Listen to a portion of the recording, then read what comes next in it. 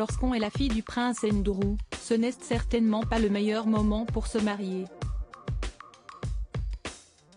La princesse Béatrice est fiancée depuis septembre dernier avec Edoardo Mapelli Mosi. Leur mariage est prévu le 29 mai 2020 à la chapelle royale du palais de Saint-James.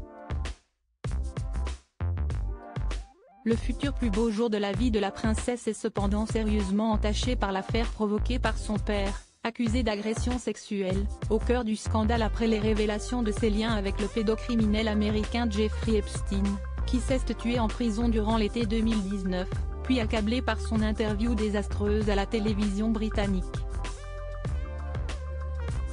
Le prince Andrew s'est retiré de la couronne, ne représente plus officiellement la famille royale, il reste néanmoins proche de sa mère, Elisabeth II, de ses filles Béatrice et Eugénie, et de son ex-épouse, Sarah Ferguson.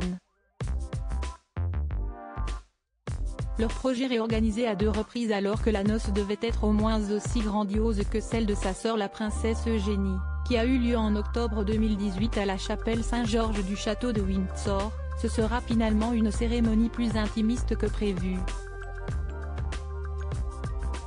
Selon le média américain People, les projets des futurs époux ont dû être réorganisés à deux reprises à cause du scandale du duc d'York. Le couple ne bénéficiera pas non plus d'un cortège de voitures, ce qui correspond à leur souhait d'organiser une union plus discrète, explique une source royale. Ainsi, son père l'accompagnera bien jusqu'à l'hôtel. Andrew va certainement porter un toast durant la réception, comme tout père de la mariée le ferait. Ils vont essayer de faire la cérémonie la plus normale possible, continue l'informateur. Le fils d'Edoardo Mapelli Mosi, Christopher, âgé de bientôt 4 ans, jouera lui aussi un rôle d'importance durant la noce.